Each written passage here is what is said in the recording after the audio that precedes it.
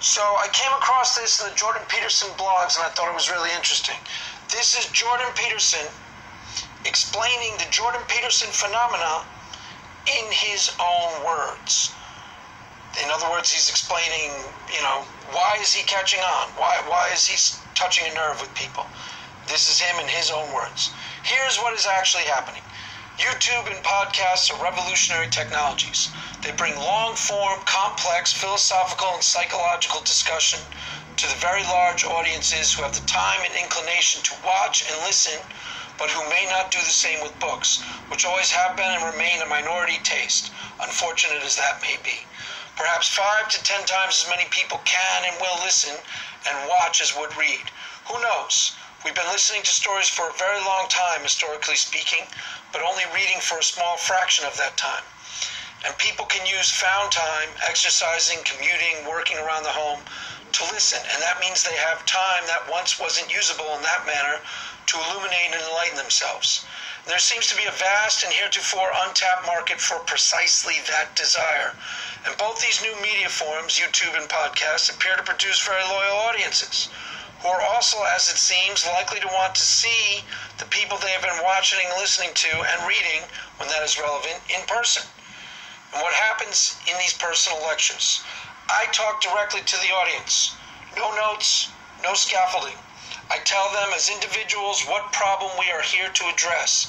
It's generally something of deep existential significance the tyranny of society, the terror of nature, the ignorance and the malevolence that too often characterizes the individual and the family.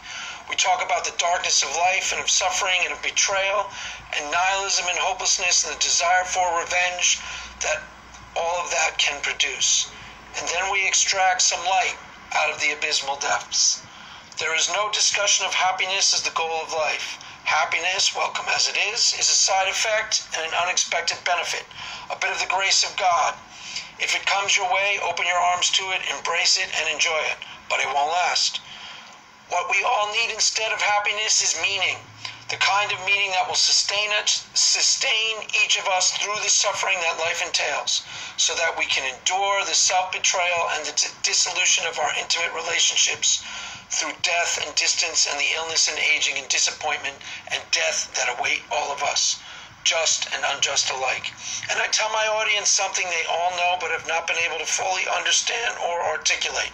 The sustaining meaning in life is to be found in the responsibility of life the load we voluntarily decide to bear, and the heavier the better. We must take care of ourselves as individuals in a manner that makes us better for our families, in a manner that sets the community right, such that the ship of state does not list too far right or left and sails forth for the destination that is true and proper. proper.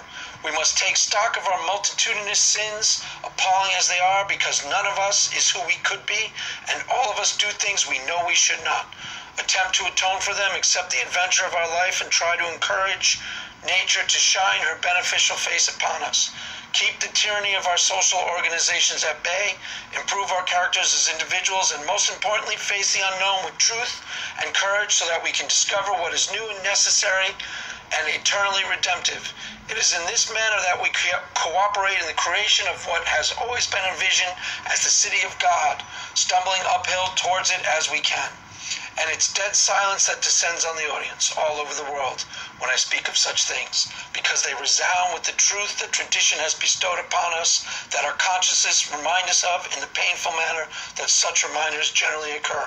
And it's not political, and it's not for young men, but for everyone. And it's not self help in any classical sense, even though I have nothing against such things.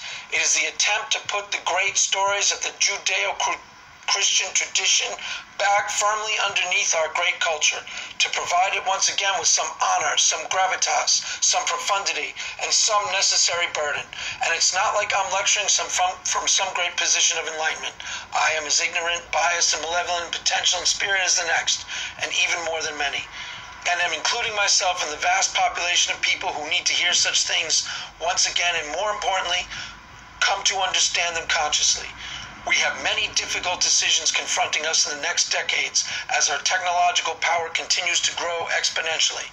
I am hopeful that wise people can make the proper decisions as to how that unforeseeable power might be used and that what I am talking about drawing on solid scientific data, clinical experience, and the wisdom of the past might help in some small manner make a substantial number of us wiser in exactly that manner so that we tilt toward the ever more heavenly place it might well become instead of degenerating into the hell we all know full well that could so easily be.